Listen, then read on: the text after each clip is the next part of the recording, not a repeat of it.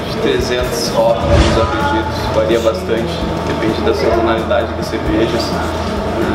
Cerveja de inverno, tem cerveja de verão, uh, tem cerveja que vem, tem cerveja que não vem.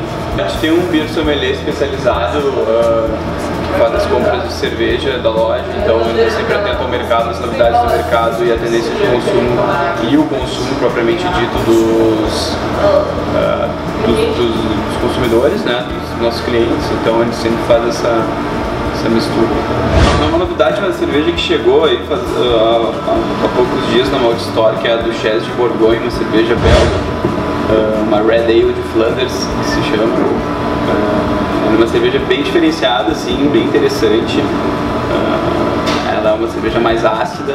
Nos últimos anos saiu alguns produtos com, que levam cerveja, né? Então a gente tem aqui opções de produtos complementares de cerveja como uh, ketchup feito com lúpulo, molho barbecue uh, com cerveja, a gente tem uh, mostarda com malte também, além de, de, de, outros produtos, né?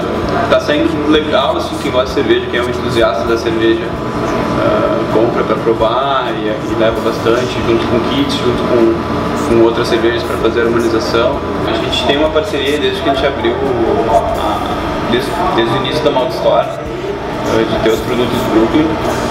E a parceria vem crescendo há muito tempo, a gente tem todo o nosso. Uh, sempre tem as novidades de, de Shop Brooklyn aqui, de cerveja da Brooklyn uh, em Porto Alegre. And you've got the nerve.